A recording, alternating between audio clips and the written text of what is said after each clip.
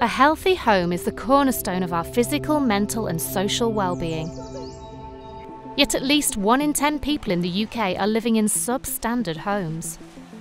They are twice as likely to have poor health, costing the NHS and wider society at least £18 billion every year.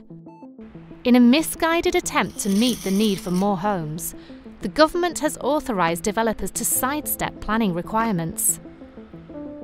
Permitted development rights allow disused office blocks and former industrial or agricultural buildings to be converted into homes with greatly reduced scrutiny. Converted homes don't have to meet minimum rules on structural safety, damp, accessibility, or even overheating. Such homes have been dubbed slums of the future. They can be unsafe, dark, cramped, and located in isolated sites or alongside fume filled major roads, with no services like schools and GP surgeries nearby. Residents describe the experience as living in an island with nothing. Poor quality homes are also being built and maintained under current planning policies and regulations.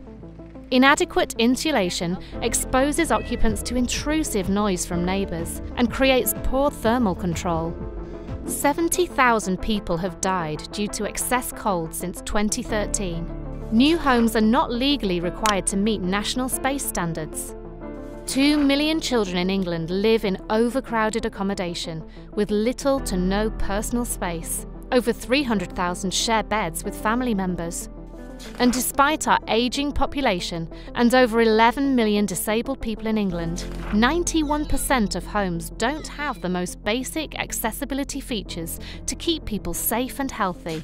We are calling for the built environment sector to commit to the Healthy Homes Pledge and all political parties to establish a statutory duty that requires the sector to protect people from harm and positively promote our health and well-being.